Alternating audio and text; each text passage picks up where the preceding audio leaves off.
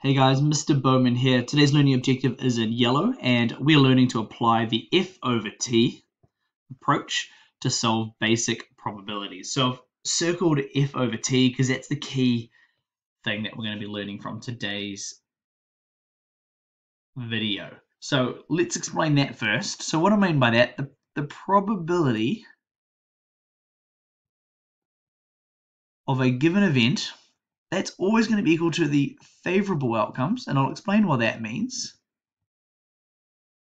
So favorable outcomes divided by the total outcomes. And again, I'll explain what that means as well.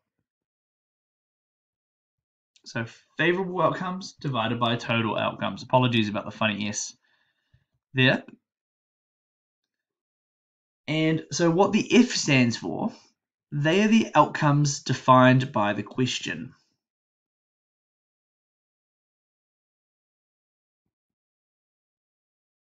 So outcomes defined by the question.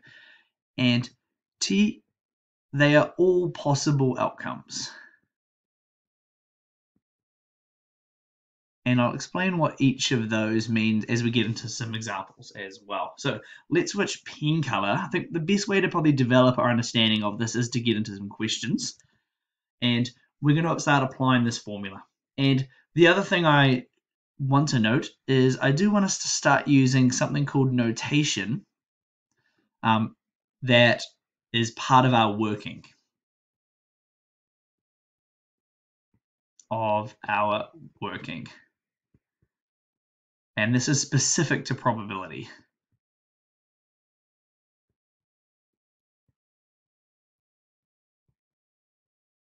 Okay, so let's start off with the first one. Um, what's the probability of getting a 3?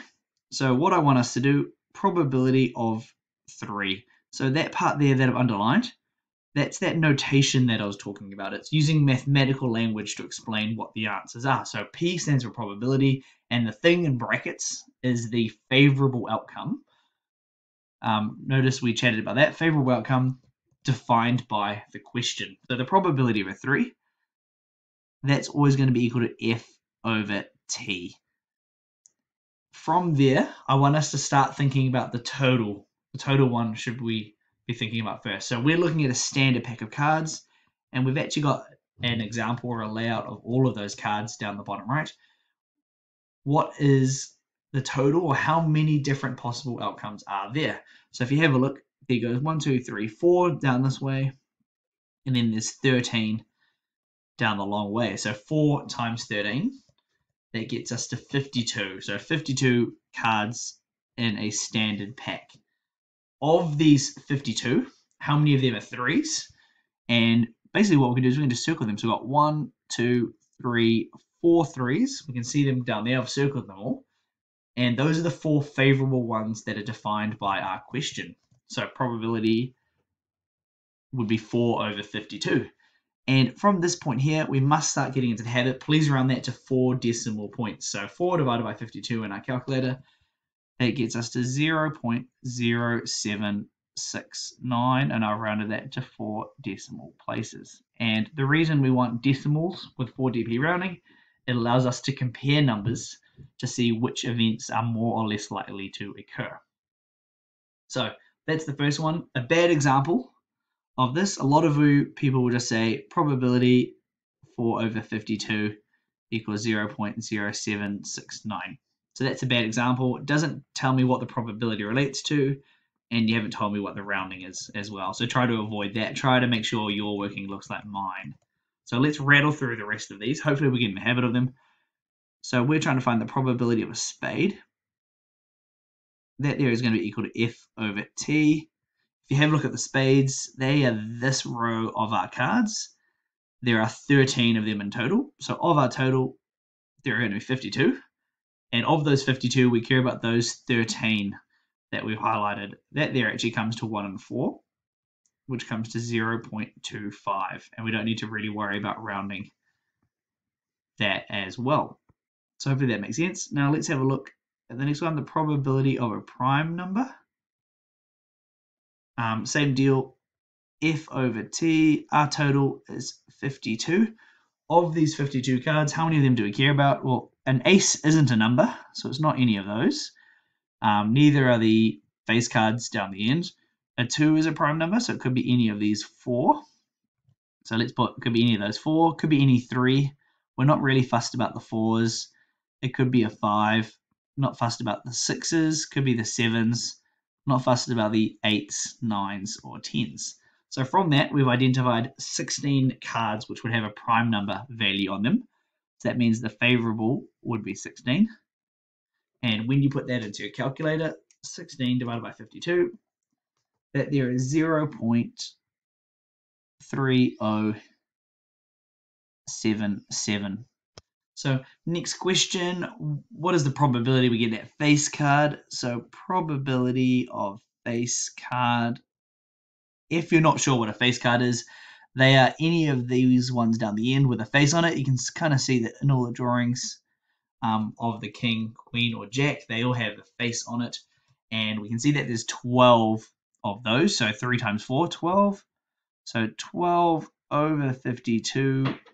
Oh, I forgot to write the formula out properly. So that's going to be F over T. And we know that there are 52 cards in total. We only care about the 12 of them with a face on it. So 12 divided by 52, that equals to 0 0.2308. And again, still rounded to 4 dp, but I run out of room, so I'm not stating those. The next question, probability of a red queen. So hopefully we get the hang of these and we can go through these a bit faster. Probability of a red queen, same deal, F over T. So there are still 52 cards of interest. Of those 52, how many of them are red queens? And we can see we got 1, 2 down the bottom. So that's going to be 2 over 52. 2 over 52 and that gets us to 0.0385 and that's rounded to 4 dp as well. The next one, so these ones are a bit trickier. What's the probability getting a 10 or a heart? So the 10s sit along here, there's four of them. The hearts sit along here, there's 13 of them. But the trick is do not add 14 and 13 together to get to 17 because what you'll be doing is you'll be double counting this 10 of hearts in the middle. So if you have a look, there are 13 hearts along the middle here, and then there are three extra 10s in addition to those. So 13 plus 3 actually gets us to 16. So a probability of a 10 or a heart F over T. There are 52 cards in total. We only care about the 16 of them that meet our favorable criteria. Put that into a calculator, 16 divided by 52 that gets us to 0.3077. And two questions left. Probability of not a heart. So what I'm going to do is I'm going to write heart dash. So that little dash means not heart. Um, same deal, F over T. There are 52 cards in total. Of those 52, um, so the hearts sit in the middle here. So it's going to be the other 39 that will be the not hearts that there is going to be equal to 3 over 4 if you simplify that fraction, which comes to 0.75.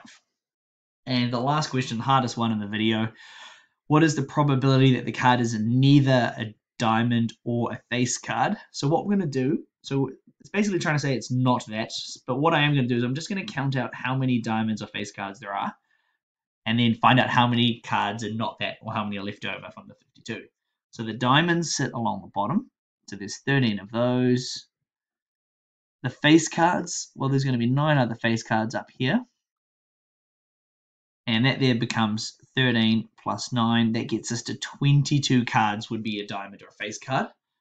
So that means the other, if we take away that from 52, the other portion of cards will be neither a diamond or heart. So we're going to go, what's the probability of them, right? D for diamond or a face card, FC for face card. That's going to be F over T. Our total is going to be 52.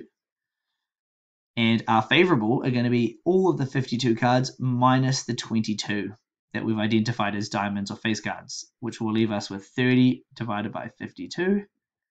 And 30 divided by 52, that gets us to 0.577. 0.69. And again, that was rounded to 4 dp like all the other ones were. So guys, hopefully you found the video on learning to use the F over T approach useful. And hopefully you also learn a bit about the pack of cards and how they're set out as well. So if you haven't already, make sure you get down the notes from today's video, understand how the formula works, understand what F is, understand what T is, understand how to do your notations, and finally understand how to apply the basic probability questions. All right, let's go.